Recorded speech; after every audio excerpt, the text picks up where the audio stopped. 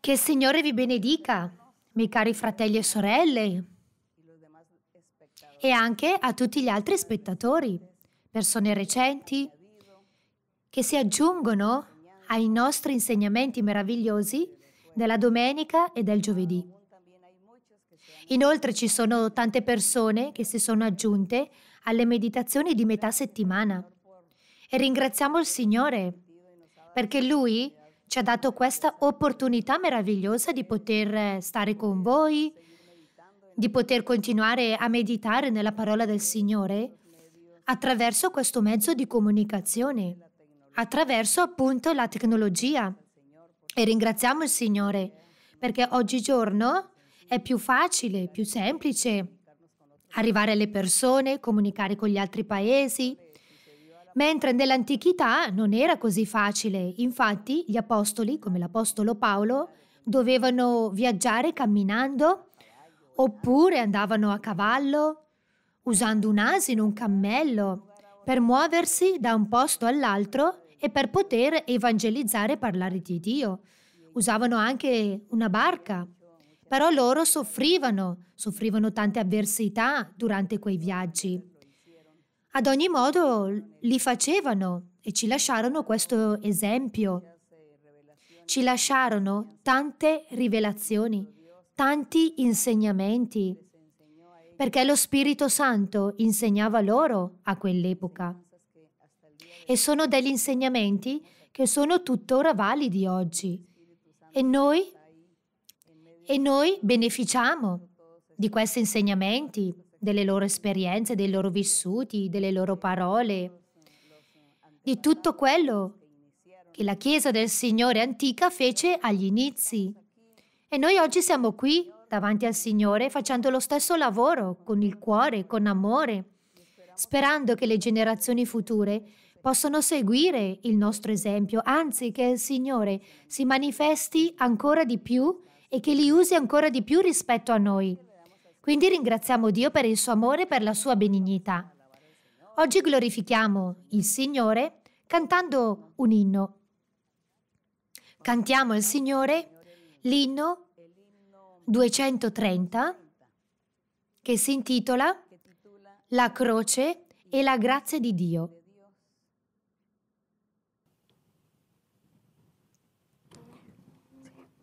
La cruz no será más pesada que la gracia que Él me da. Y si la tormenta me espanta, no podrá esconder su faz. La gracia de Dios me bastará su ayuda jamás me faltará. Consolado por su amor que echa fuera mi temor, confiaré en mi Señor. Mi cáliz nunca es tan amargo como el de Getsemaní. En mis días más apurados, no se aparta Dios de mí. La gracia de Dios me bastará, su ayuda jamás me faltará consolado por su amor que echa fuera mi temor, confiaré en mi Señor. La luz de su rostro me alumbra en el tiempo de aflicción y mi alma gozosa vislumbra el palacio de mi Dios. La gracia de Dios me bastará, su ayuda jamás me faltará. Consolado por su amor que echa fuera mi temor, confiaré en mi Señor. Gloria e onore a Dio. Ringraziamo il Signore Lui sa che noi gli cantiamo con tutto il nostro cuore, con tutto il nostro essere. Allora, fratelli e sorelle, come state? Io penso che già siete comodi, seduti. Quest'anno è passato, quest'anno è volato. Non ci siamo nemmeno resi conto, perché il tempo veramente è volato. Sono successe tante cose e altre invece non sono più successe. Mi dispiace per tutti coloro che avevano dei piani, per esempio la laurea, i giovani, le giovani che si sono laureati all'università, magari in ritardo, oppure hanno preso il diploma ai licei e loro desideravano la loro festa, la festa di fine anno, la festa di laurea, però questa pandemia è stata una delusione da questo punto di vista. Mi dispiace per coloro che non hanno potuto festeggiare il diciottesimo anno, l'anno della maturità. Mi dispiace per i matrimoni che non si sono celebrati. Mi dispiace per tutte queste cose. Però bisognerà, quando sarà passata la pandemia, celebrare la festa di matrimonio o la festa dei 18 anni in un altro momento. Ad ogni modo, sono successe tante cose, ci sono anche tante persone che si sono ammalate. L'isolamento, stare rinchiusi in casa, ha causato tanta depressione in tante persone. Però noi siamo qui affrontando tutte le situazioni, pregando, chiedendo al Signore per noi, per voi, per tutti. Stiamo lottando per andare avanti, per non smettere di andare avanti, per non farci travolgere dall'incertezza della situazione. Anzi, dobbiamo essere ancora più coraggiosi, coraggiosi perché veramente sono stati giorni brutti. Per esempio, per coloro che hanno perso i loro cari a causa della pandemia. Hanno perso i loro cari e perdere un caro è molto triste sebbene noi sappiamo che per la persona che muore, quella persona va a riposare. Questa è la volontà del Signore. Ovunque sarà portata questa persona, riposerà da tante avversità che ci sono in questa vita. E noi siamo ancora qui con Dio invece. E cerchiamo che la nostra vita sia piacevole, che la nostra vita quotidiana sia fatta di allegria, di soddisfazioni, di gioie e non permettiamo che il nemico venga a rubarci la nostra felicità, la nostra pace o che ci tolga dal cammino che stiamo facendo o che ci separi dalla mano di Dio. Noi dobbiamo essere forti, coraggiosi, andare avanti e pregare. La preghiera è molto potente. Sapete che la preghiera che si fa con fede, avendo fiducia in Dio è molto potente. La preghiera di fede cambia, cambia le cose. Perciò bisogna continuare a lottare e a pregare e chiedere a Dio, acclamare al Signore benignità e pregare anche per i vostri cari, per le persone che vivono con voi, che soffrono. Ci sono tante persone infatti che vogliono togliersi la vita, vogliono suicidarsi, altri sono malati di mente, hanno perso la ragione. Pregate per loro e chiedete a Dio, il creatore dei cieli e della terra, al Dio che ci ha creati con la sua mano potente. Chiedete aiuto a Lui e vedrete come Lui sarà attento a benedirvi. Oggi leggeremo un capitolo della Bibbia nel quale si parla dei comandamenti, dei dieci comandamenti che il Signore diede non solamente al popolo di Israele, ma per tutti coloro che da lì in poi si sarebbero aggiunti al popolo di Israele, perché da lì in poi chi voleva credere in Dio, compiere i comandamenti, doveva aggiungersi al popolo di Israele, acquisire la cittadinanza degli israeliti e quindi circoncidersi. Perciò i comandamenti non erano solamente per i 600.000 uomini che Mosè fece uscire dall'Egitto, no, furono anche per tutte le persone che da lì in poi si sarebbero aggiunte al popolo di Israele, quindi persone che sarebbero diventati degli israeliti. Erano anche per loro i comandamenti. Quindi il Signore sapeva che si sarebbero aggiunte agli israeliti altre persone, sebbene quelle persone avrebbero peccato e non avrebbero potuto raggiungere la vita eterna. Ecco perché già il Signore sapeva che in futuro persone di tutto il mondo avrebbero dovuto compiere i suoi comandamenti per essere salvi, per ottenere la vita eterna, non solamente gli israeliti, ma gente di tutto il mondo e già il Signore sapeva questa cosa perché era un suo piano.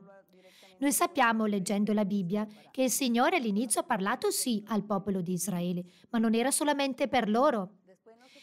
Erano anche per le altre nazioni, soprattutto per i gentili, dai quali noi proveniamo. Quindi per coloro che compivano i comandamenti c'erano benedizioni e promesse meravigliose. Ma il Signore già sapeva che ci sarebbe stato tanto peccato e tanta disubbidienza.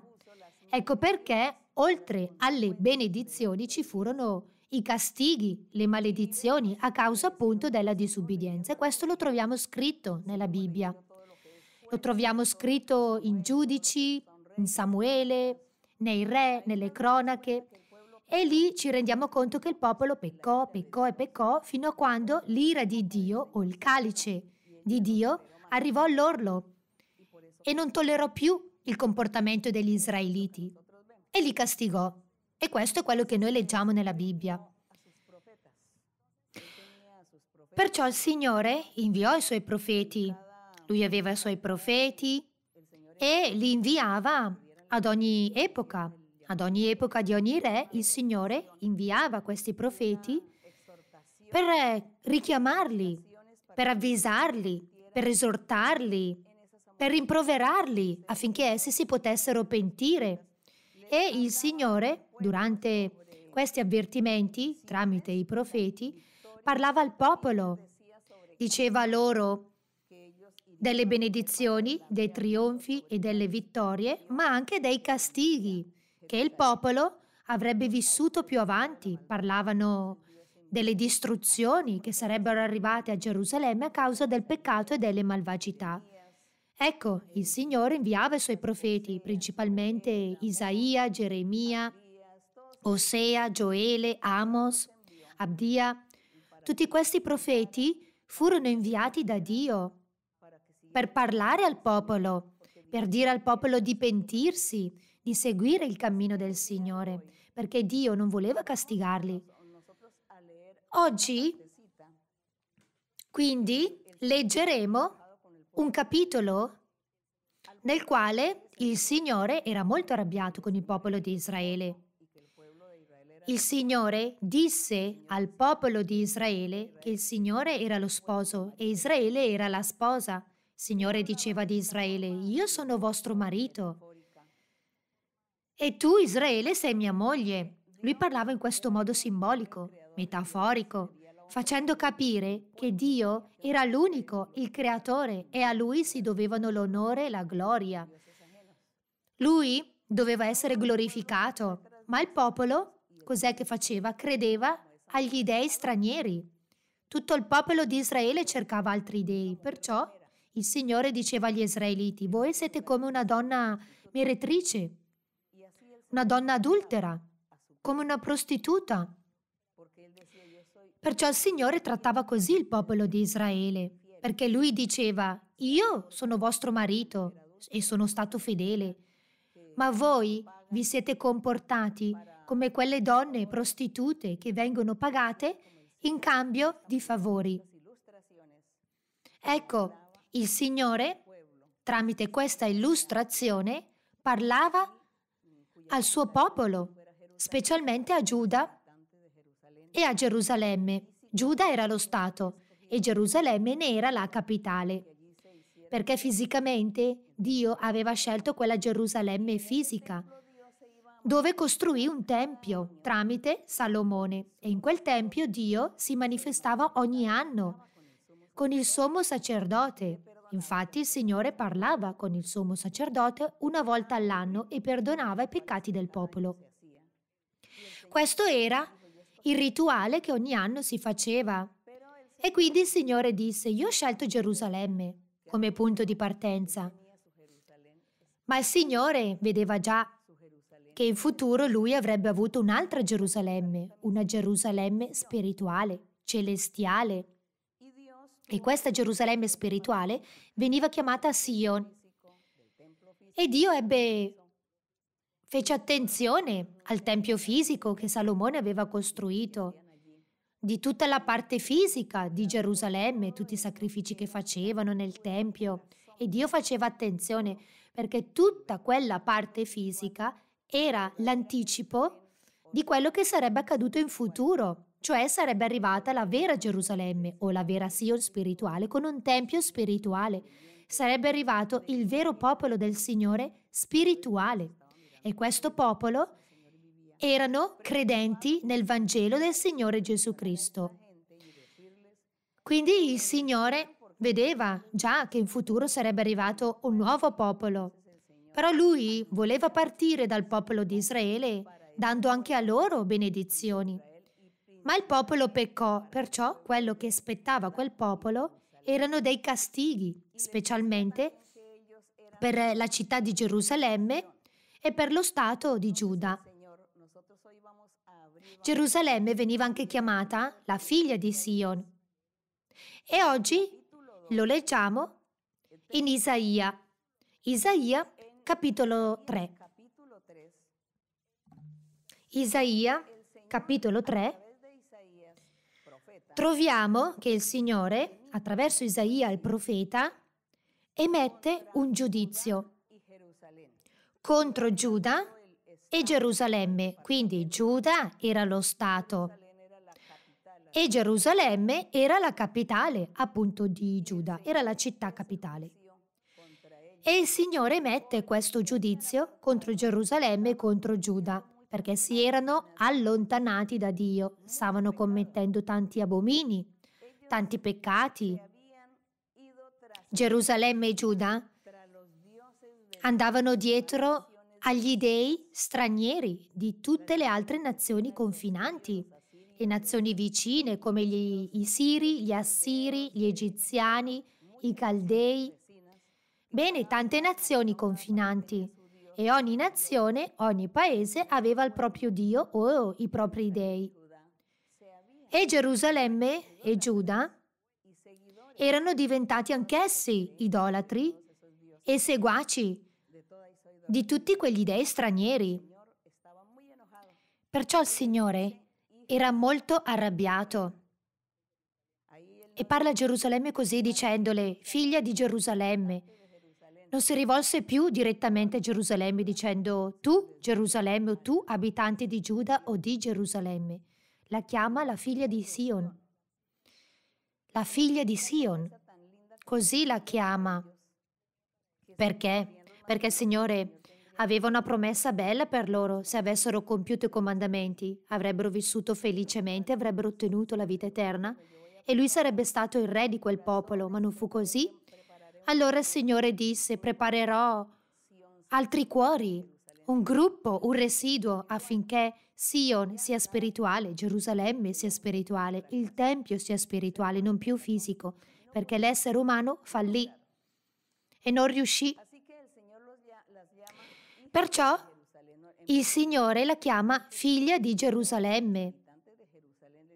Invece di chiamarli abitanti di Gerusalemme, li definisce così figlia di Sion. È una metafora, un'allegoria che il Signore stava utilizzando per trattare il suo popolo in quel modo, chiamandolo così. E noi oggi leggiamo tutto il castigo che il Signore avrebbe dato a Gerusalemme, a Sion, agli abitanti di Giuda. Capitolo 3 di Isaia, verso 1 dice, Poiché ecco, il Signore, l'Eterno degli eserciti, sta per togliere a Gerusalemme e a Giuda ogni sostegno e appoggio. Ecco, dice che il Signore avrebbe tolto il sostegno e l'appoggio a Gerusalemme e a Giuda. Quindi avrebbe tolto l'abbondanza per il popolo di Gerusalemme, per lo Stato di Giuda, togliendo loro il pane, il cibo. Avrebbero sofferto di fame e di sete e infatti dice, il Signore toglierà ogni sostegno e appoggio, ogni sostegno di pane e ogni sostegno di acqua, prode o il guerriero. Ricordiamoci che nel popolo di Israele c'era l'esercito e c'erano i prodi. I prodi erano un gruppo di persone che lottava contro l'esercito delle altre nazioni e siccome loro erano i prodi, solitamente un prode trionfa. Il prode affronta i nemici delle altre nazioni, gli altri eserciti nelle battaglie e solitamente vince. Quindi questi erano i prodi e i guerrieri. Ricordiamoci per esempio la storia di Golia. Golia era un prode, era un guerriero coraggioso che apparteneva all'esercito dei Filistei o degli Egiziani, non ricordo, dei Filistei.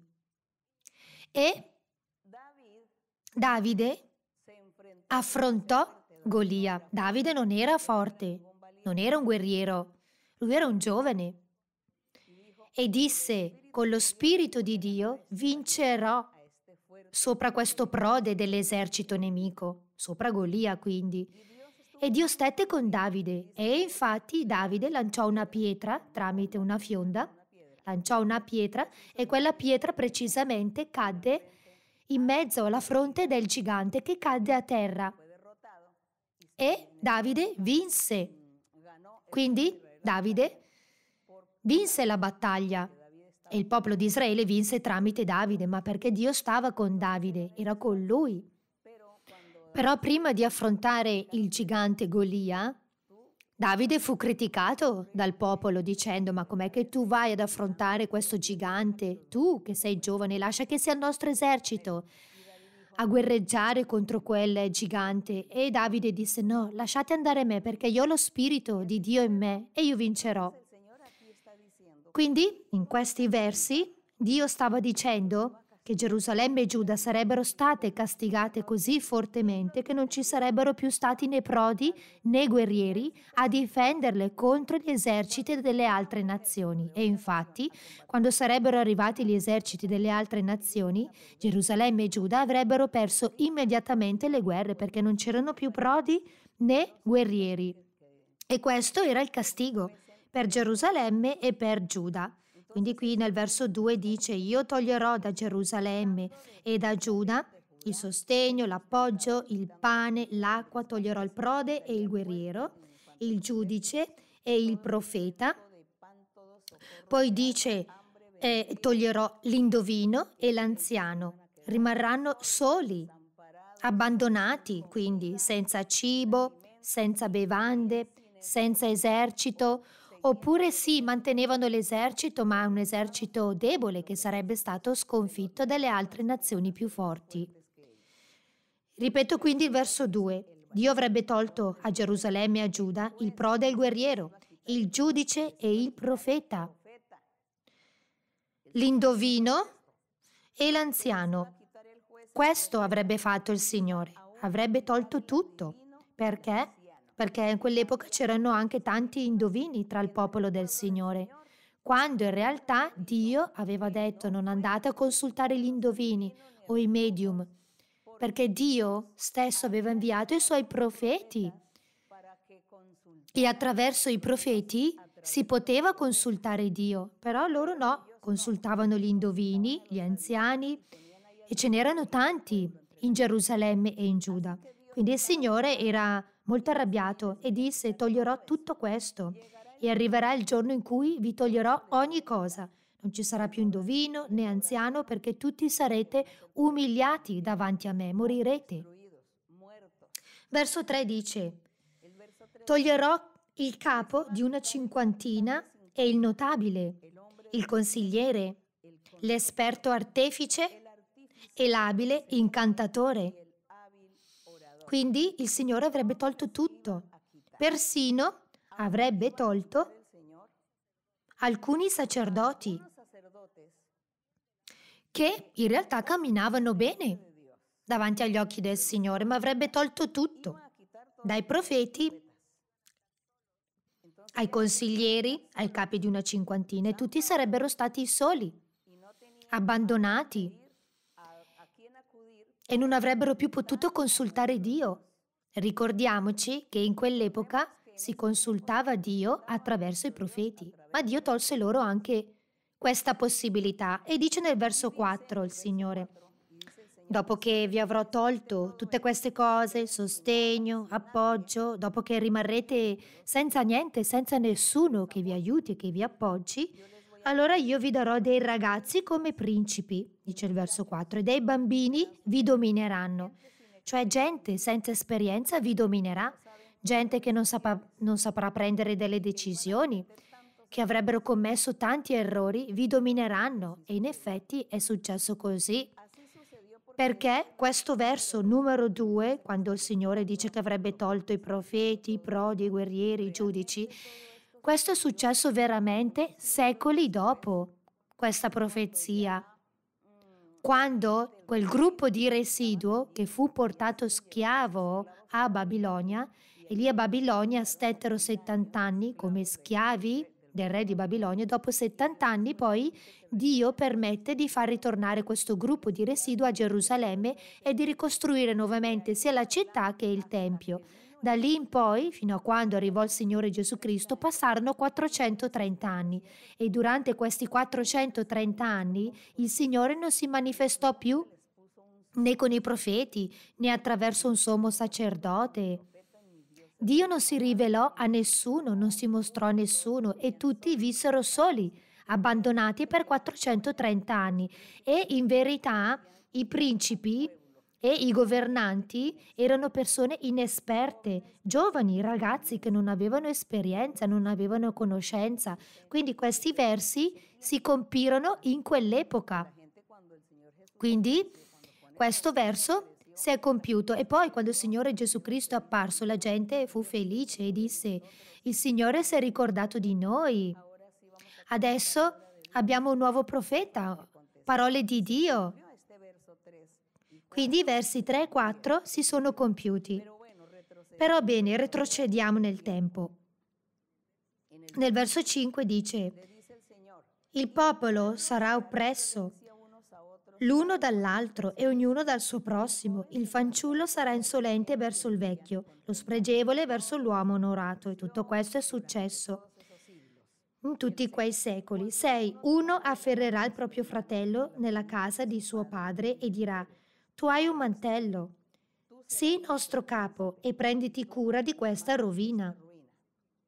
Dice che sarebbe arrivato il tempo in cui tra gli stessi fratelli si sarebbero nominati re, capi, perché non c'era più nessuno. Ognuno faceva quello che gli sembrava più conveniente perché Dio non era più con loro, li aveva abbandonati, quindi non li guidava più. Nel verso 7 dice, ma in quel giorno egli dichiarerà solennemente dicendo, qui si riferisce a un governante, a un principe nominato dal popolo e parla lui stesso e dice, io non fascerò le vostre ferite, perché in casa mia non c'è pane né mantello, non fatemi capo del popolo. Quindi lo stesso governatore diceva non nominatemi tale, non nominatemi re, perché io non ho niente da darvi, non ho neanche pane né mantello, viviamo tutti nella rovina, siamo tutti soli, senza Dio, senza speranza, Dio ci ha abbandonati, perciò non nominatemi, perché io non sono in grado di governare il paese. Quindi Isaia, attraverso questa profezia, stava avvisando il popolo di tutto quello che sarebbe successo, per vedere se magari qualcuno si poteva pentire tramite questa profezia e ritornare al cammino del Signore. Verso 8 Gerusalemme infatti barcolla e Giuda cade, perché la loro lingua e le loro opere sono contro l'Eterno, per provocare ad ira lo sguardo della sua maestà. L'espressione del loro volto testimonia contro di essi. Mettono in mostra il loro peccato come Sodoma e non lo nascondono. Vedete, il Signore ha sempre utilizzato un esempio, l'esempio di Sodoma. Disse a Gerusalemme e a Giuda che sarebbe accaduto la stessa cosa successa a Sodoma e Gomorra, che si allontanarono da Dio a causa della lussuria, di tutti i peccati, di andare contro la natura, perché stavano commettendo tanti abomini queste due città, andavano uomini con uomini, donne con donne, abbandonando l'uso naturale che Dio aveva comandato. E quindi Sodoma e Gomorra cominciarono a idolatrare tanti dei, si allontanarono da Dio. Solamente uno era giusto, Lot, e infatti Lot fu salvato dopo che Dio mandò fuoco su queste due città dove tutti morirono. Perciò il Signore, tramite Isaia, parla agli abitanti di Gerusalemme e di Giuda dicendo loro Guardate che vi passeranno le stesse cose che sono successe a Sodoma e Gomorra, perciò pentitevi, ma non fu così. Quindi ripeto il 9, l'espressione del loro volto testimonia contro di essi, mettono in mostra il loro peccato come Sodoma e non lo nascondono. Guai a loro, perché fanno del male a se stessi. Dite al giusto che avrà del bene, perché mangerà il frutto delle sue opere. Guai all'empio, Verso 11. Guai all'empio. Gli verrà addosso la sventura. L'empio chi era? Era colui che dopo aver conosciuto Dio, dopo aver conosciuto i cammini del Signore, conosceva i comandamenti del Signore, conosceva tutto quello che Dio aveva detto attraverso Mosè e la legge, e nonostante questo, queste persone si allontanarono da Dio compiendo malvagità. Questi sono gli empi, dopo che hanno conosciuto Dio, dopo che, avendo goduto della mano di Dio, delle benedizioni di Dio, dopo aver partecipato alle benedizioni di Dio, retrocedono e cominciano di nuovo a peccare. Questo è l'empio. E quindi qui il Signore attraverso Isaia dice guai all'empio, gli verrà addosso la sventura, perché gli sarà reso quel che le sue mani hanno fatto. Gli oppressori del mio popolo sono bambini e donne dominano su di lui. O popolo mio, quelli che ti guidano ti fanno sviare e distruggono la via che tu percorri. Quindi qui stava dicendo il Signore che gli israeliti erano guidati da ragazzi, non avevano timore né di Dio, non avevano la dottrina, non conoscevano nemmeno le leggi per condurre un buon governo. Quindi questi ragazzi dominavano su Gerusalemme e su Giuda sviandoli totalmente. Verso 13. L'Eterno si presenta per contendere e prende posto per giudicare i popoli. L'Eterno entra in giudizio con gli anziani del suo popolo e con i principi di esso. Dice che il Signore avrebbe giudicato gli anziani di quel popolo e avrebbe giudicato i principi o i governanti. E dice infatti, siete voi che avete divorato la vigna. Significa che simbolicamente il popolo di Israele rappresentava una vigna e Dio si aspettava che quella vigna desse buoni frutti, ma non fu così, non diede buoni frutti, anzi diede frutti selvatici. Ecco perché qui il Signore dice bisogna distruggere questa vigna, bisogna bruciarla. Quindi dice siete voi che avete divorato la vigna, voi principi, voi anziani che avete compiuto gravi errori. Soprattutto vi siete allontanati dal cammino di Dio e per questo succede que- tutte queste cose. Ripeto 14, l'Eterno entra in giudizio con gli anziani del suo popolo e con i principi di esso. Siete voi che avete divorato la vigna. Le spoglie del povero si trovano nelle vostre case. Con quale diritto schiacciate il mio popolo e pestate la faccia dei poveri Dice il Signore, l'Eterno degli eserciti, dice ai governatori, voi state distruggendo, state schiacciando il mio popolo, state distruggendo la vita spirituale di tutte queste persone, state mettendo in dubbio la loro fede, il timore di Dio che prima avevano, mentre adesso voi Siccome non sapete governare, non sapete insegnare il cammino né metterlo in pratica, allora state distruggendo così il popolo. E dice poi nel verso 16, l'Eterno dice ancora e avverte qui, avverte che a causa di tutti i peccati e di tutte le colpe, lui manderà dei castighi. E dice l'Eterno, adesso vi elenco tutti i castighi che avverranno per voi, Gerusalemme e Giuda. E qui il Signore chiama i governatori, i principi, tutte le persone importanti, le figlie di Sion, li chiama così. Le figlie di Sion si riferiscono quindi anche ai sacerdoti, profeti, principi, anziani, re, governatori, giudici e tutti gli abitanti di Gerusalemme e di Giuda.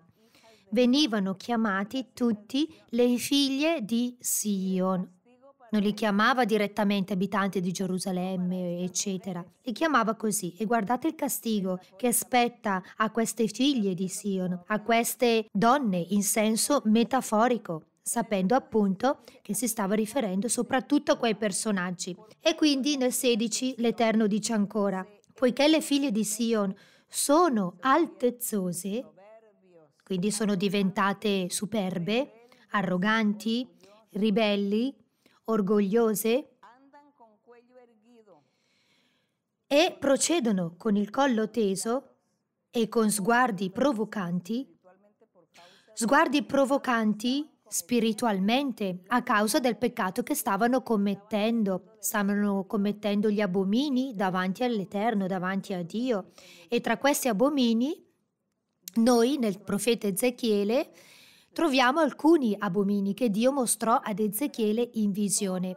Infatti Dio disse, Ezechiele ti mostrerò in visione tutto quello che gli abitanti di Gerusalemme e di Giuda fanno.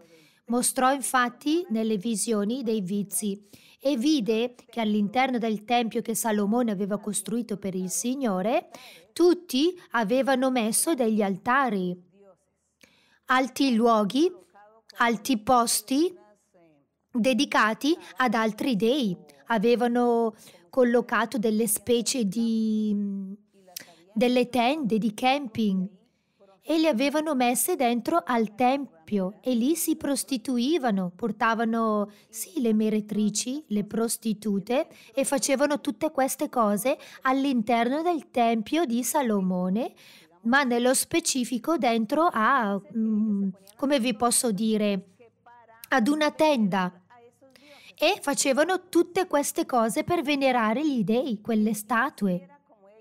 Offrivano i loro corpi.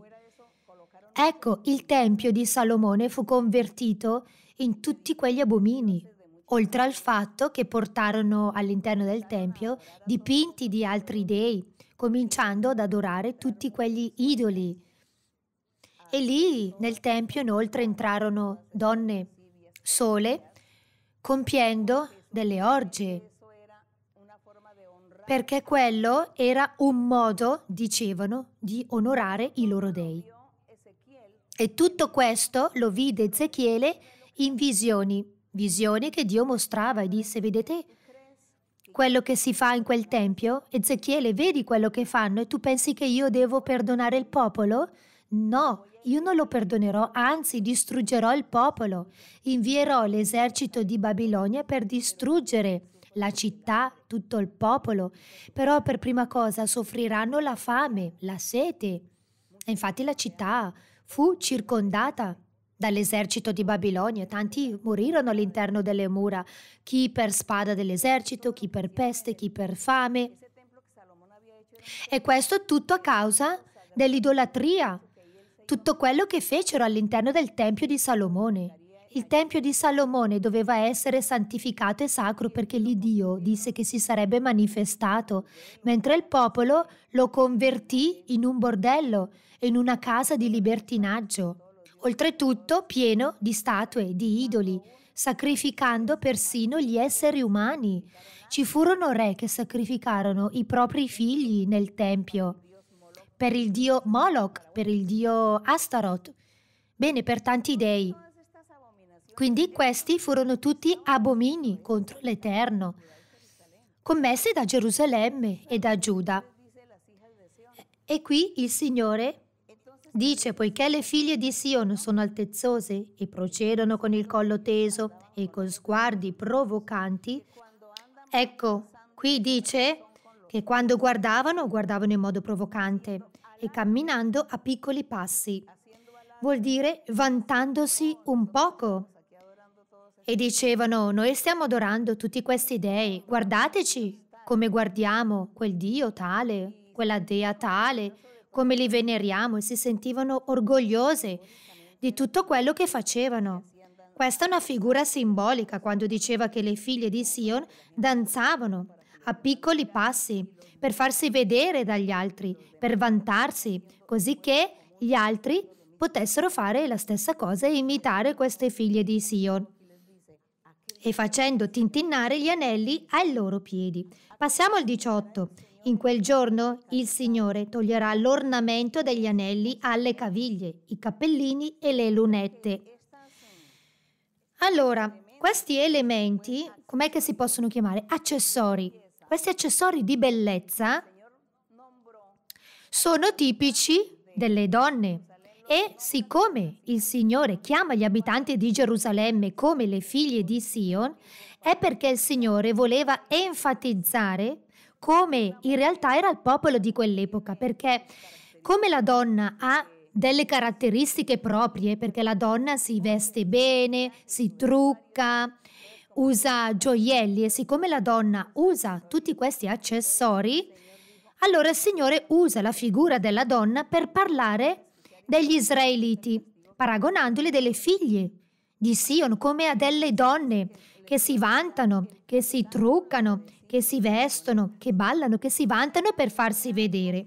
E quindi il Signore dice, questo sarà il castigo, toglierò gli anelli alle caviglie, i cappellini e le lunette, ma non era a livello fisico, perché se uno vive o vivevano come loro nell'abbondanza, non era peccato avere queste cose, non era peccato adornarsi i capelli, le braccia. Sì, le persone in quel tempo, chi aveva più denaro, coloro che erano ricchi, erano soliti vestirsi con delle telefini, con eh, sì del lino fino e si mettevano addosso anche dei gioielli sulle braccia, sulle, sui piedi, gioielli nel naso, adorni sulla testa e in quel modo dimostravano che erano dei personaggi importanti perché avevano del denaro. E quelle persone importanti a livello economico, quando passeggiavano per la strada, i poveri li onoravano, gli facevano reverenza perché dicevano questa persona è potente perché è ricca, allora io devo salutare questa persona. Quindi i poveri omaggiavano i ricchi. Il Signore ha sempre permesso che ci fossero poveri e ricchi. Non è che tutti vivevano allo stesso livello, no? C'erano i poveri e c'erano anche i ricchi. Perciò i ricchi dimostravano la loro ricchezza e la loro importanza attraverso il vestuario e attraverso gli accessori che indossavano. Quindi dimostravano appunto la loro ricchezza, la loro importanza, come oggi diremmo che dimostrano il proprio strato sociale. Oggi si parla della classe media, della classe alta, della classe bassa e anche in quel tempo già esisteva questa differenza economica tra il popolo. Quindi una persona, per dimostrare che apparteneva alla sua classe alta, si vestiva in un certo modo e indossava tanti gioielli.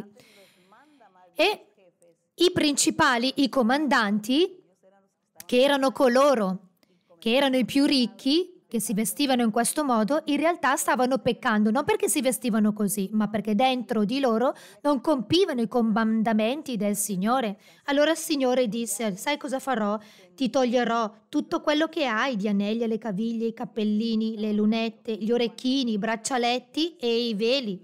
Vuol dire che quando arriverà l'esercito di Babilonia, Verso di te, Gerusalemme o Giuda, non avrai più denaro, non avrai più da vestire, non avrai più cibo. Allora tu, Gerusalemme e Giuda, camminerai per strada nudo e scalzo. Non avrai più gli orecchini, i turbanti, i braccialetti, perché sarete rovinati, rovinati.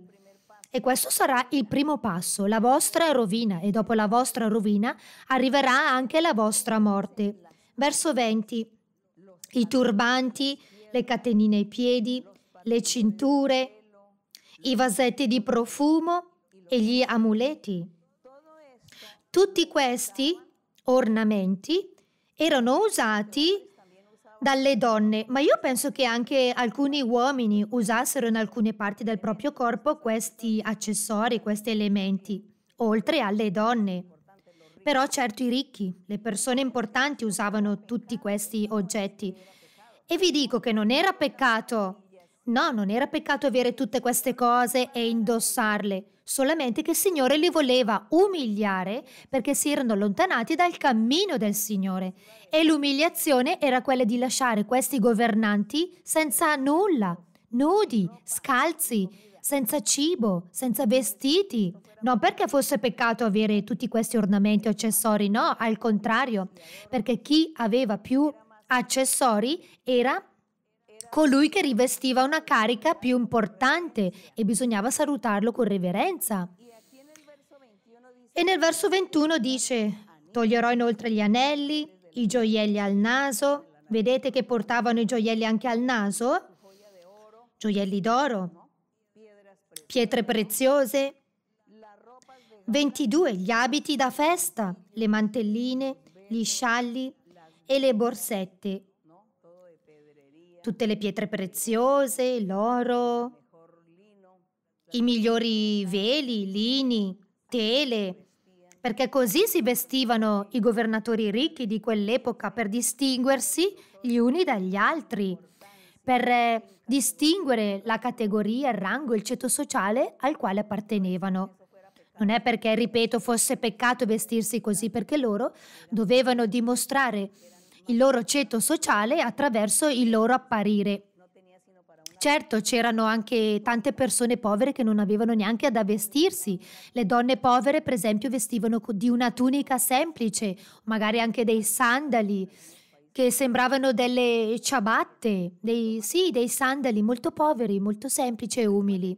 Ricordatevi che il Signore Gesù Cristo nacque in una zona povera, in una famiglia povera, non erano ricchi i genitori del Signore Gesù Cristo, avevano sì da mangiare e un tetto, ma non vivevano nell'abbondanza e nel lusso. Quindi il Signore Gesù Cristo non fu creduto quando venne perché si aspettavano che venisse il figlio di un re. Il Messia dicevano no, non può essere figlio di gente povera, ma deve essere figlio di gente ricca e sarebbe dovuto vestire così, con gioielli, con eh, sì, abiti da festa, con tanti gioielli, collane, braccialetti, oro, smeraldi, diamanti. È così che si aspettavano che arrivasse il Messia. Ma il Messia, siccome proveniva da una famiglia povera, si presentò povero. Povero sì, perché all'epoca i poveri portavano, per esempio, come offerta al Tempio due colombe, per esempio, due passeri, mentre le persone ricche portavano animali. Animali perché erano ricchi, mentre i poveri portavano per esempio due colombe e Maria e Giuseppe, i genitori in carne del Signore Gesù Cristo, portarono due colombe perché appunto erano poveri e portarono due colombe in offerta al Tempio quando presentarono il Signore Gesù Cristo. Quindi il Signore Gesù Cristo non ebbe l'opportunità di vestirsi così perché non aveva denaro. Quello che stiamo leggendo, credo che lo abbiate letto tante volte, però penso che non l'avevate capito proprio così in profondità. Ripeto, non è che è peccato indossare questi gioielli, perché quei gioielli rispecchiavano il ceto sociale di quell'epoca. Però com'è che il Signore voleva castigare questi governatori ricchi? Togliendo loro appunto le ricchezze e tutti questi ornamenti, perché per loro, togliendo tutte queste cose, era un'umiliazione. 23. Gli specchi, le camicette, i cappucci e le vestaglie. Quindi il Signore diceva, vi toglierò anche tutte queste cose, perché vi siete allontanati dal cammino del Signore, dal mio cammino. Quindi vi troverete nella miseria, come quando si, oggi si dice quella persona è finita in bancarotta. 24. E avverrà che invece di profumo vi sarà marciume. Certo, loro usavano tanti profumi I ricchi usavano appunto queste fragranze, fragranze molto costose. Ricordiamoci di quando il Signore Gesù Cristo stava predicando il Vangelo in un posto e arrivò una donna e unse i piedi del Signore con un profumo, con un olio profumato. E uno dei discepoli si arrabbiò e disse, Signore, com'è che permetti a questa donna di sprecare questo olio così pregiato? Perché questo profumo è molto costoso, quindi non possiamo sprecare questo denaro, questo profumo ungendo i piedi. È meglio vendere quel profumo e il ricavato lo diamo ai poveri. Il Signore Gesù Cristo disse, ci saranno sempre i poveri, tra i poveri sempre ci saranno dei poveri, ci sarà sempre della povertà. Quindi è impossibile che i poveri non esistano, ci saranno sempre i poveri e ci saranno sempre anche i ricchi. E il Signore Gesù Cristo disse, questa donna ha fatto quello che doveva fare, cioè ungermi, ungermi, perché io da lì a poco sarò morto. Quindi, prima di morire c'era l'usanza di ungere una persona che stava appunto per morire. Era un rituale che si faceva al corpo. Quindi il Signore Gesù Cristo disse appunto che quella donna si inginocchiò ungendo i suoi piedi perché appunto da lì a poco lui sarebbe morto ma quel profumo, quell'olio era molto profumato. Ma possedere questi profumi pregiati e costosi non è peccato.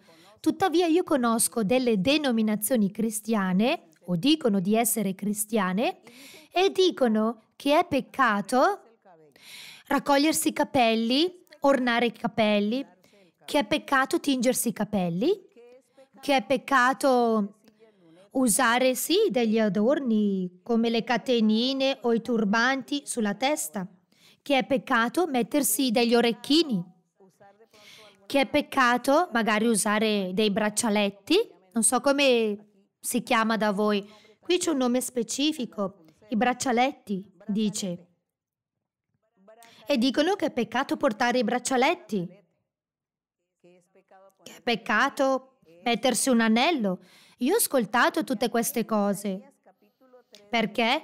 Perché hanno letto qui in Isaia capitolo 3 dicendo che è peccato, ma qui non dice che è peccato, anzi, il contrario.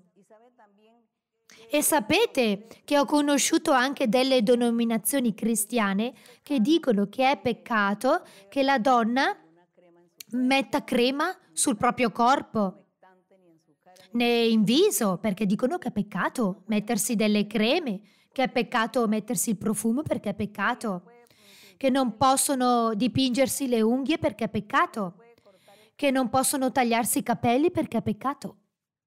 Insomma, per loro tutto è peccato ed è basato su questo capitolo 3 di Isaia. Ma noi come stiamo leggendo qui? È un errore quello che dicono, è una falsa interpretazione, anzi il contrario, perché le persone importanti usavano tutti questi ornamenti per distinguersi nella società. E Dio sapeva che loro usavano tutte quelle cose perché avevano del denaro per comprarsi quelle cose, per comprarsi i gioielli, i profumi, i vestiti più belli. E farsi anche dei vestiti pregiati perché avevano del denaro, perché erano ricchi. Ma per esempio, Giobbe, chissà come si è vestito Giobbe che era un uomo molto ricco e i loro figli ogni otto giorni facevano delle feste perché loro sprecavano il denaro i figli di Giobbe e chissà come si vestiva Giobbe e i suoi figli. Mi immagino che si vestissero bene, con i migliori eh, sì, lini, con i migliori gioielli, perché questo, ripeto, non è peccato. Una persona povera non può comprarsi un, un profumo costoso perché preferisce comprare il cibo prima di comprare un profumo. Perciò va bene. Non è peccato, ripeto, semplicemente Ogni persona vive col denaro che ha, perciò può comprare delle cose e ne può godere secondo la capacità economica. Quello che io indosso me lo regala. I fratelli della Chiesa, le persone mi regalano i gioielli. Io non ero abituata a portare i gioielli, tutte queste cose, Ma la gente della chiesa mi ha insegnato, perché loro mi hanno regalato così tanti gioielli che io dissi va bene, li metto, così che vedono che metto i loro regali e vedono che io non li disprezzo. Allora sono diventata un po' come dire vanitosella. Bene. E poi ho detto ai fratelli, mi state abituando bene perché mi state regalando tante cose, ma questo non è peccato. Non è peccato.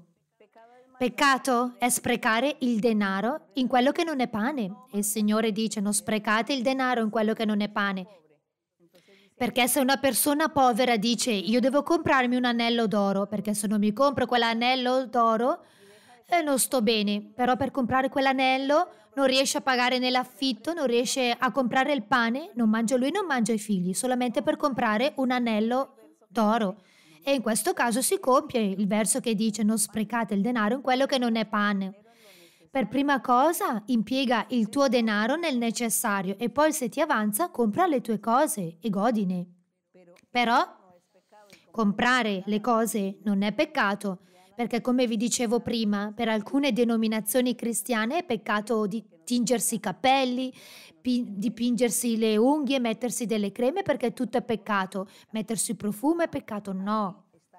Qui sta dicendo il contrario. Dio dice che avrebbe tolto tutte queste cose ai governanti per puro castigo perché si erano allontanati dal cammino del Signore.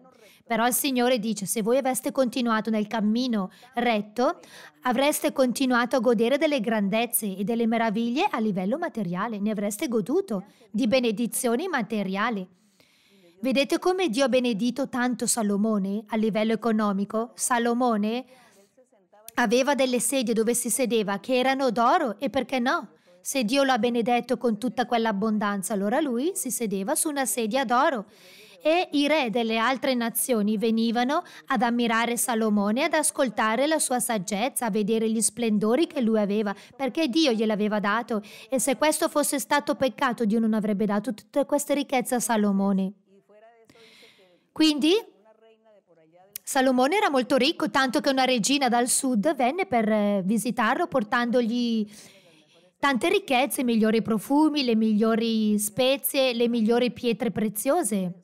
Questo non è peccato. Fa parte delle benedizioni di Dio, sempre e quando un uomo e una donna seguono il cammino del Signore.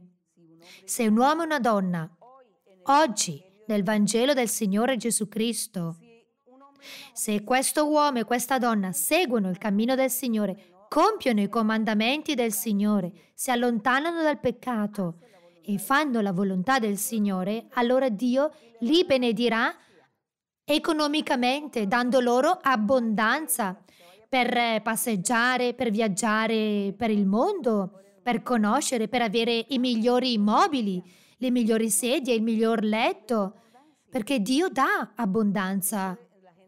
Le persone dicono che invece seguire il Vangelo del Signore Gesù Cristo è vivere nella miseria e nella povertà, ma questa è una bugia.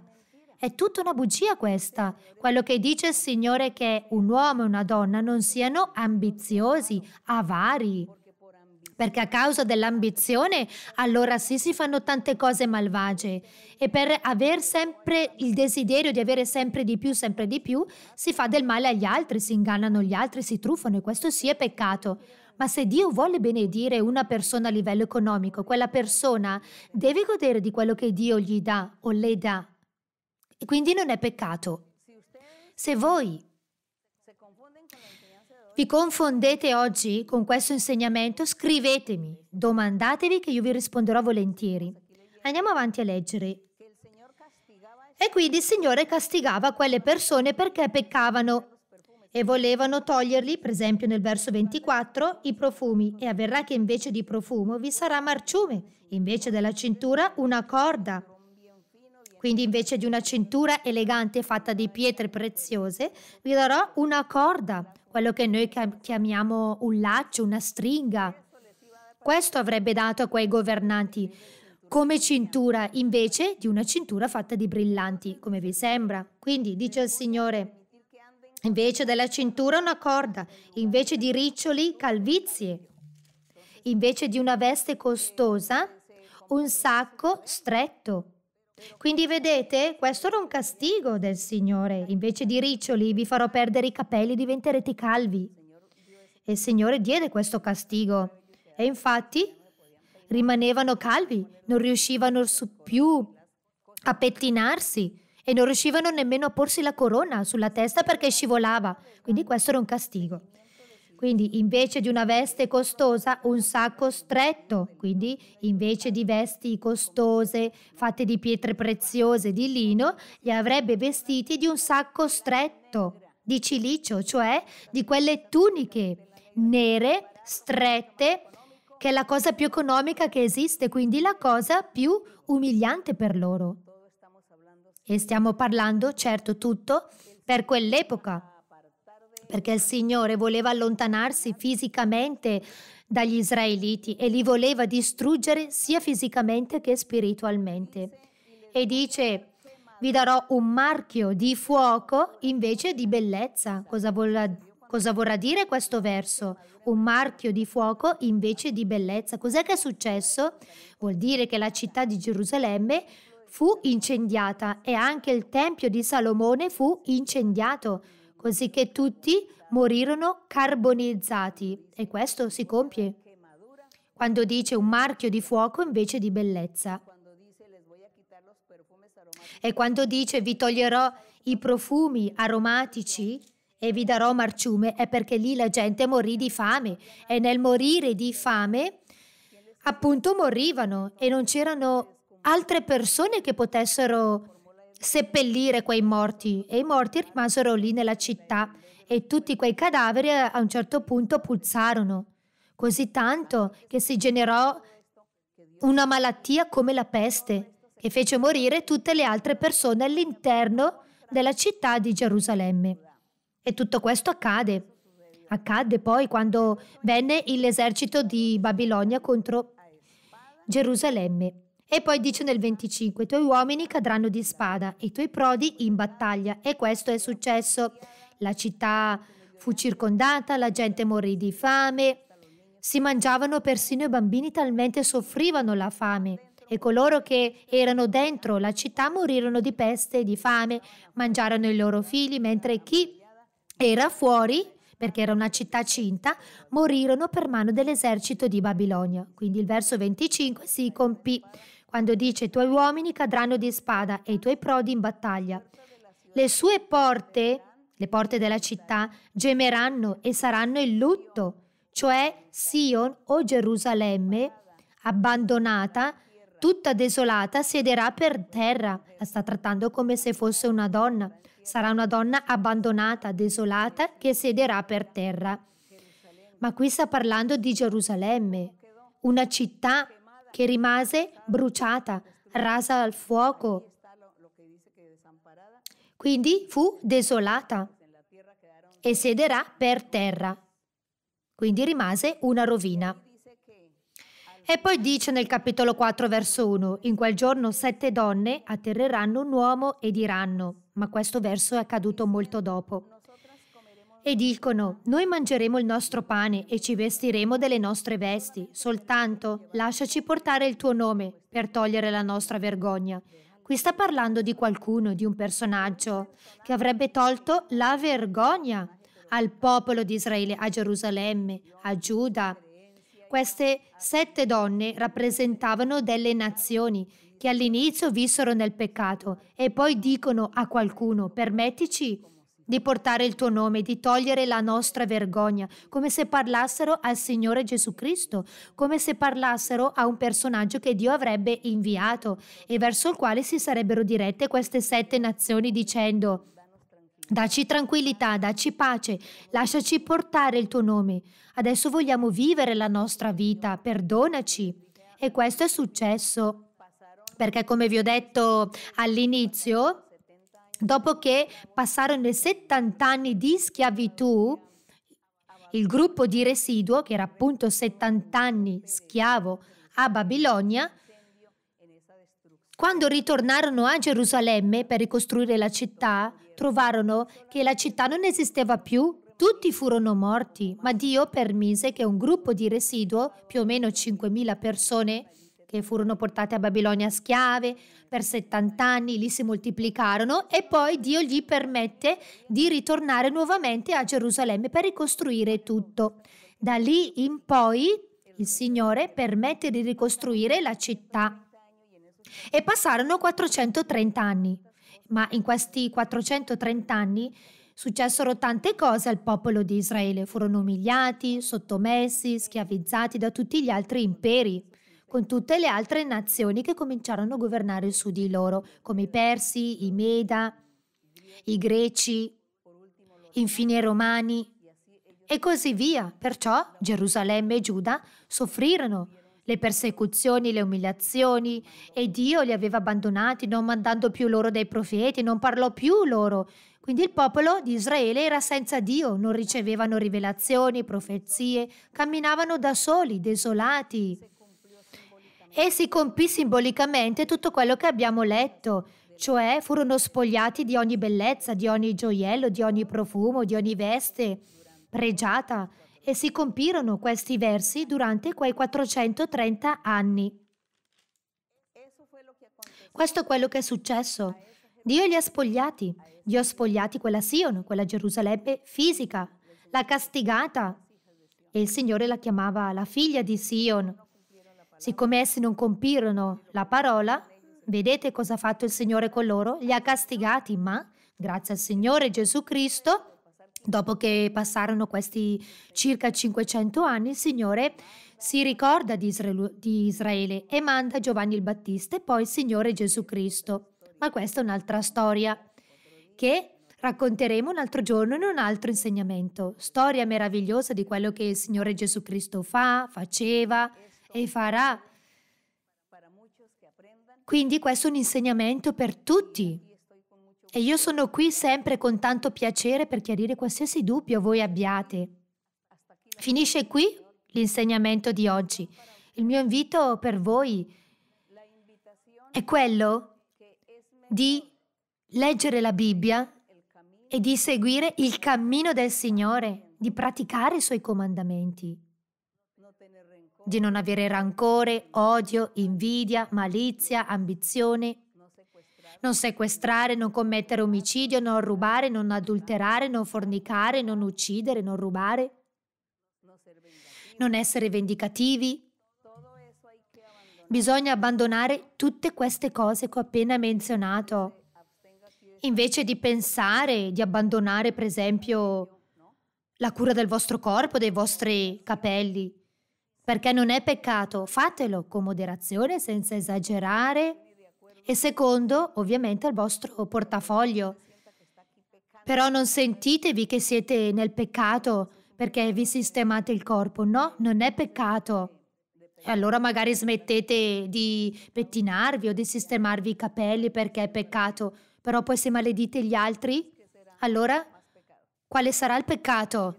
Maledire le persone, di dire parolacce o sistemarsi i capelli, pettinarsi? magari se vi pettinate vi sentite anche più presentabili e vi vedranno anche bene le altre persone che vi circondano, ben curate. Ma ci sono persone che dicono no, no, io non uso nessun profumo, nessun gioiello perché è peccato. Però cos'è che fanno? Sentono rancore nel cuore, spettegolano, mormorano, si arrabbiano, discutono, fanno del male al prossimo, fanno delle stregonerie, dei malocchi, delle maledizioni. Allora qual è il peccato? Dove sta il peccato? Perciò dobbiamo essere saggi e intelligenti. E vi invito a rileggere questo capitolo 3 di Isaia. Leggete anche il 4, così che imparerete e vi libererete di alcuni carichi e voi comprenderete che la cosa migliore è compiere i comandamenti del Signore, piacere a Dio in questo, non commettere peccato. Certo, non esagerare, perché ogni persona vive in una determinata cultura, ci sono delle usanze, ci sono paesi nei quali si fa una cosa e in un altro paese no. Ci sono posti dove le persone esagerano. Sì, esagerano. Allora, per esempio, cosa sarebbe un esempio di esagerazione? Un uomo che si dipinge i capelli di verde o che si tinge i capelli di giallo o di azzurro. Questa è un'esagerazione.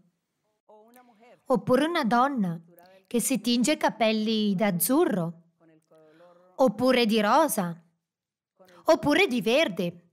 Anche questa è un'esagerazione. Poi ci sono anche delle persone che si fanno delle incisioni, dei segni per mostrare che appartengono ad un certo paese, ad un certo popolo. Ma non bisogna esagerare, ma essere moderati anche in questo. Perché quando si esagera, lì sì diventa una cosa brutta perché si richiama l'attenzione.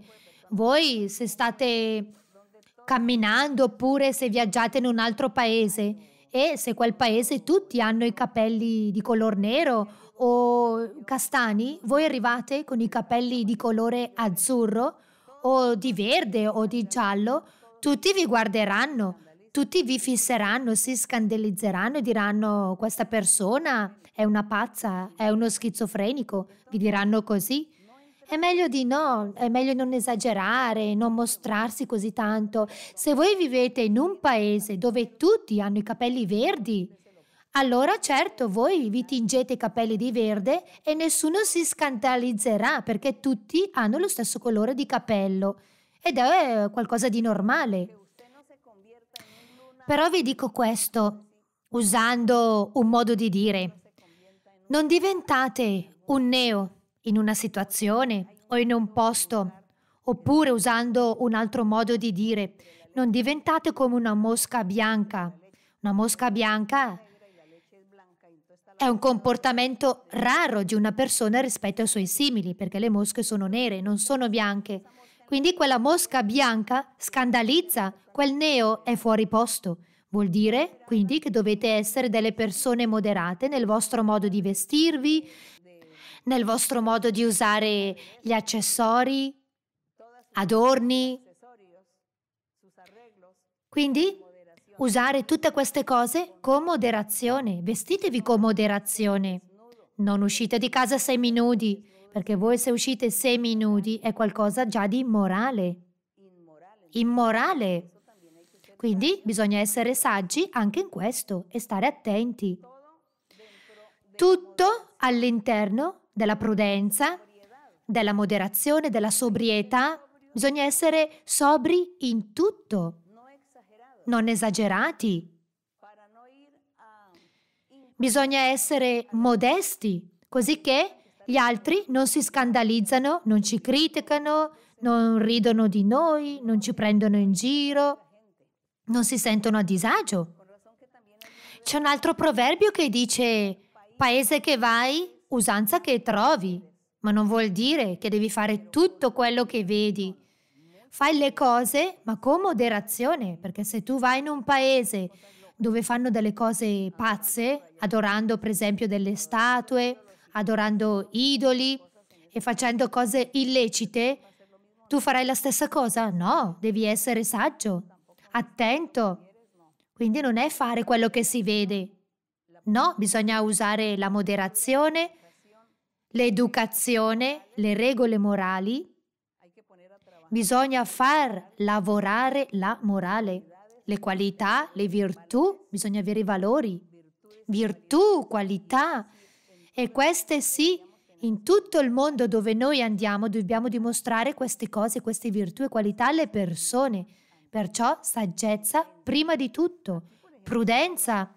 Qui per esempio stava dicendo che si mettevano degli anelli al naso. A me sembrerebbe ridicolo che noi qui usassimo un gioiello, un anello al naso. Mentre per gli indigeni non è ridicolo, perché tutti loro, gli indigeni, usano questi anelli nel naso. E per loro è una cosa normale. Però per noi uscire con un anello al naso si richiamerebbe solamente l'attenzione e questo non è corretto. Cerchiamo di essere normali, moderati. modesti, senza esagerare, ma tutto nella normalità e con saggezza. Piuttosto gradiamo Dio, siamo modesti, perché la modestia è molto importante nei confronti di Dio. Spero che questo insegnamento vi sia servito e ci serva e spero che non malinterpretiate l'insegnamento, no? che adesso nei prossimi giorni mi mandate le vostre foto con le vostre teste piene di ornamenti. No, saggezza. Non dipingetevi per esempio le labbra di nero. No, siate moderati, siamo moderati. I figli di Dio sono moderati, sobri, prudenti, saggi. Sono intelligenti e danno buon esempio e buona testimonianza. Così Bene, che Dio vi benedica tutti grandemente. Adesso preghiamo e chiediamo al Signore che ci aiuti a vivere una vita retta e corretta, quello che Lui vuole che noi viviamo per piacergli. Padre Santo, benedetto Dio Onnipotente, grazie Padre Celeste per la lettura della Bibbia. Grazie Signore perché abbiamo letto questo passaggio della Bibbia nel quale abbiamo trovato tanti insegnamenti, culture, modi di vivere, di vestire delle persone nell'antichità. E noi oggi abbiamo un modo di vestire, un modo di comportarci, un modo di usare il nostro corpo e facciamo il meglio, facciamo il meglio per piacerti, per gradirti, affinché nessuno si scandalizzi di noi. E speriamo, Signore, che tu ogni giorno ci possa insegnare il modo giusto di vestirci, il modo giusto di comportarci nella vita quotidiana, in questa era che noi viviamo, perché noi vediamo che ci sono tante mode nel mondo e la moda cambia in continuazione. La gente si inventa tante cose che scandalizzano usando la moda ma quelle cose che scandalizzano provengono da persone che non hanno un buon ragionamento, che non hanno senno, un buon esempio. Quindi, Signore, dacci la capacità di capire, dacci intelligenza e saggezza per poter distinguere il bene dal male, quello che dobbiamo fare e quello che non dobbiamo fare, così che possiamo fare tutte le cose in un modo saggio, moderato e sensato. Padre Santo, tu ci insegni, sempre ci hai insegnato, Padre, perché a volte noi esageriamo, a volte noi siamo estremi, o siamo in un estremo oppure in un altro, ma mai in mezzo e noi dovremmo stare in mezzo, così che tutte le cose funzionerebbero perfettamente nella nostra vita e piacerti in tutto e vivere una vita santa retta che tu vuoi che noi viviamo, Signore. E ti chiediamo di vivere secondo la nostra possibilità economica, senza fingere davanti agli altri che abbiamo quando in realtà non abbiamo. E che magari ci sacrifichiamo o sacrifichiamo la famiglia solamente per fingere, per mostrare. Dobbiamo invece essere saggi e umili in tutto. Grazie Signore. Insegnaci il buon vivere. Insegnaci a vivere bene, Padre Santo, a fare le cose per bene. Ora Signore ti chiedo che tu stenda la tua mano potente, la tua mano guaritrice, facendo miracoli, segni in tutte le persone che sono malate di diverse malattie, soprattutto quelle malattie incurabili, stendi la tua mano, guarisci, pulisci, libera ognuno di loro, Signore. Libera le persone che sono vittime di stregonerie, malocchie e maledizioni. Togli, Signore, tutti questi lacci, queste catene diaboliche, tutte queste maledizioni del diavolo, distruggile, Signore. Spezza le catene, liberala, Signore, le persone, dai loro pace e allegria ci sono tante persone depresse che vivono in amarezza, sofferenza. Libera queste persone, Signore, benedicili. Spezza, Signore, il laccio del maligno. Togli la tristezza, Signore. Togli, Signore, quei vizi come la droga e tutti gli altri vizi che il diavolo sta inculcando nelle persone per distruggerle affinché facciano il contrario rispetto alla tua volontà. Padre Santo, stendi la tua mano, correggici, guidaci sempre per il cammino della rettitudine. Aiutaci, Signore, concedici il sostegno così che quando noi preghiamo per le persone, per i malati, possiamo ricevere il tuo sostegno così che tu puoi fare tanti miracoli e segni, perché questa è una tua promessa che tu hai fatto, Signore, dal principio. Grazie Signore, perché siamo davanti alla tua presenza. Grazie eterno Dio. Benedetto e lodato il tuo nome, glorificato per sempre il tuo nome. Aiutaci a fare la tua volontà, Signore, a compiere i tuoi comandamenti per ottenere sempre le tue benedizioni e che possiamo sempre vivere in pace e in felicità e vivere nell'abbondanza, avere tutto il necessario, che non ci manchi nulla. Grazie Padre Santo, benedici Signore tutti i tuoi figli, le tue figlie, tutte le persone, tutti coloro, Signore, che si stanno aggiungendo piano piano ai nostri insegnamenti. Benediceli, prosperali, dai loro gioia nei loro cuori, pace e felicità, nel nome glorioso di Gesù Cristo, tuo Figlio amato. Per lui siano l'onore, la gloria e la lode da adesso e per sempre. Amen. Gloria al Signore. Adesso cantiamo il coro numero 6 che dice Risvegliati Sion. Despiértate Sion, levanta una tienda y coloca en ella el arca de Dios. Alaba y bendice y danza Jehová, que Dios ha llegado, que Dios ha llegado muy cerca de ti. Despiértate, Sion, levanta una tienda y coloca en ella el arca de Dios. Alaba y bendice y danza Jehová, que Dios ha llegado muy cerca de ti. Benedetto lodato il Signore, molte grazie, miei cari fratelli e sorelle. Dio vi benedica tutti grandemente. Vi amo con tutto il mio cuore. Tanti abbracci e tanti baci da parte mia e anche ai bambini che amo molto. Grazie.